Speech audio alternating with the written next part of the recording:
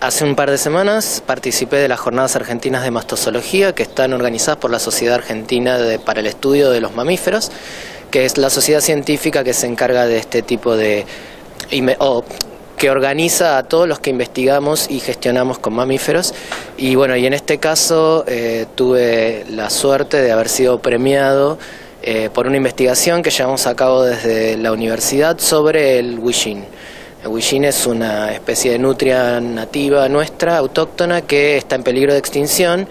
Y, bueno, creo que lo importante más allá del premio, y bueno, por supuesto que, a todos nos gusta ser premiados, pero más allá de eso es el reconocimiento de los colegas eh, que estudian mamíferos hacia el esfuerzo que hacemos desde la universidad para la conservación de esta especie. Eh, en un momento donde eh,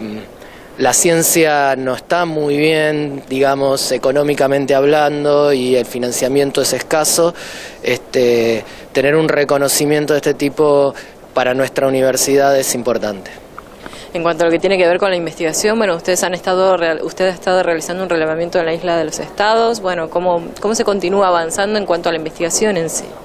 Sí, eh, como bien decís, estuvimos trabajando en Isla de los Estados, también estamos trabajando en el Canal Beagle, eh, porque la especie también se encuentra en estas costas y la idea es continuar con estas investigaciones. Tenemos cámaras trampas, estos dispositivos puestos eh, en distintos lugares de la isla de los estados y del Canal Beagle.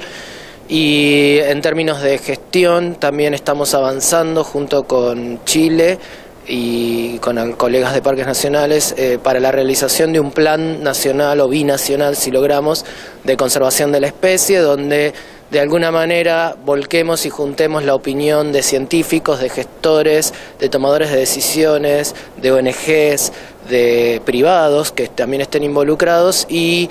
que todos juntos eh, aunemos esfuerzos para conservar esta especie.